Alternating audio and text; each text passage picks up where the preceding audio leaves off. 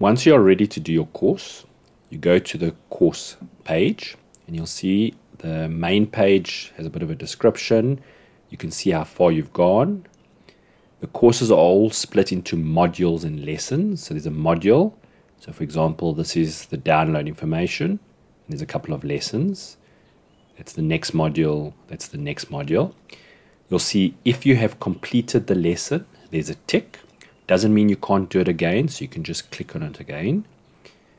But you can easily see what you have and haven't done. And in order to get your certificate at the end, you need to have completed every one. So if you're not getting your certificate, you need to make sure that every lesson is ticked. To start the course, normally in the beginning, there's a lesson here called download the follow along and exercise files. So we recommend you always start with that.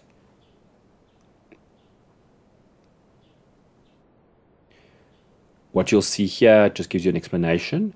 And if you click on the download course files, this will give you all the Excel files, or if there's one, the Excel file that you'll be using to follow along the lessons and then to do the exercises. You can see already a bit of an overview and we have some items here, but the most important thing here is to download the course file. To download it, you just click download. Depending on your browser, it will do various things, but it will download it as a zip file. So we don't recommend you open this and use this one. Go wherever you downloaded the zip file. You'll see over here. Right click on it and say extract all. Put it where you want to keep it. I want to just leave it here. And you'll see if you open that folder, this is a normal Excel file. So we recommend you don't work with from within the zip or an email. Rather put it in a separate folder and use it from there. It means you can save it and get back to it easily. To continue with your course then, you can go to exit course and go through the original index or there's an index here which is going to be explained to you shortly.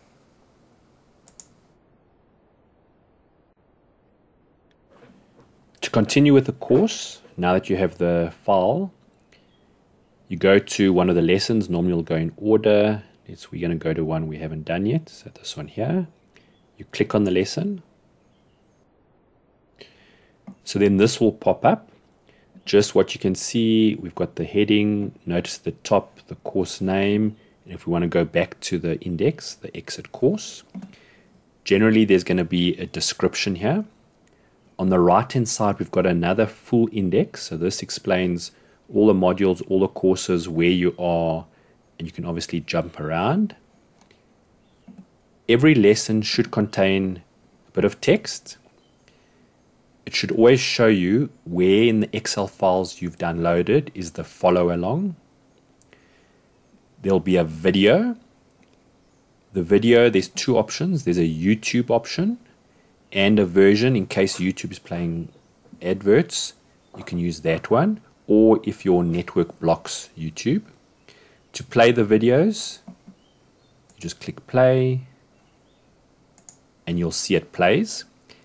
If it's too small for you on YouTube, you'll see on the right hand side here there's a full screen option. So when you click on it, it opens it in full screen view. To get out of this, you push escape. If the YouTube quality is not great, YouTube automatically adapts. So what you can do is this little gear bar, and when you click on it, you'll see there's a quality setting. So here it's gone to an auto 480 but you can improve the quality yourself by forcing it to have better quality. If you don't or can't use YouTube, there's another version here. Same thing, you can click play. And again, if you want a full screen view, there's the full screen option here. So I'm going to click on it, watch it, and then escape. Once you've watched the video, there's also text, so it should cover the same topic. So we do recommend you do both, but whichever one works best for you. So you'll see it then explains it with screenshots, what we're trying to achieve. And when you get to the bottom, there'll either be a complete button or a take quiz button. So in order to complete the lesson, you have to finish the quiz. So you click on take quiz. A quiz will pop up. Generally one, two, or three questions. It covers what was covered in that lesson. And you'll see you have a question, and then you choose one, two, or three, and you then click complete quiz. So for example, I'm going to choose that one. When I click complete quiz, you'll get your grade and you can see if you get it right, you can continue to the next lesson or you can redo the quiz if you got it wrong. At this point, you can decide do I continue to the next lesson via this button? You could click it over here or you could jump around if you wanted to. But we could, for example, say continue to next lesson and it jumps straight to the next lesson and again we've got the text we've got a video clip and the take quiz and you can work through the, the lessons like that just going back to the original index an important aspect about these courses is the exercises so for example if we go down here you'll see it says custom format exercise it's important that you actually do these exercises.